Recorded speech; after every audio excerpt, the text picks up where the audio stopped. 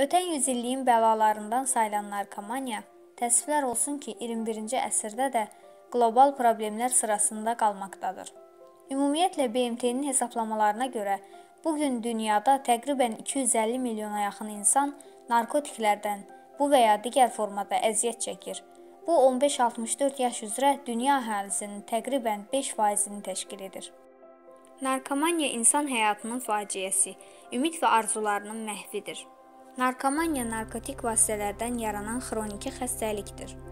Narkotikdən asıllıq narkotik maddələrdən bir və ya bir neçə dəfə istifadə etməklə yaranır. Tibbi təcrübələr göstərir ki, narkomaniya ilə mübarizə aparmaq çox çətindir. Narkomaniyanın yayılması insanların sağlam həyat tərzi üçün təhlükə törədir. Narkotik maddələrin qəbul edilməsi ilə insan fiziki və psixoloji cəhətdən məhv olur yaddaş və təfəkkür pozulur, həyata qarşı laqeydlik yaranır. Cəmiyyətdə sosial münasibətlərə mənfi təsir göstərir.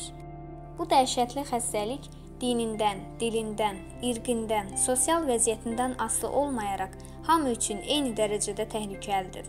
Narkomanlıq cəmiyyətin özəyi olan ailəni dağıdır. Azərbaycan Respublikasında narkotik maddə istifadəçilərinin sayı artmaqda davam edir. Ölkəmizdə narkomanların üçdə birindən çoxunu tələbələr təşkil edir. Narkotik aludəçisi olma, ağ ölümə qurban getmə. Özünü, ailəni və dostlarını narkomaniyadan qoru. Cəmiyyətin gələcəyi sağlam gənclərdən asılıdır.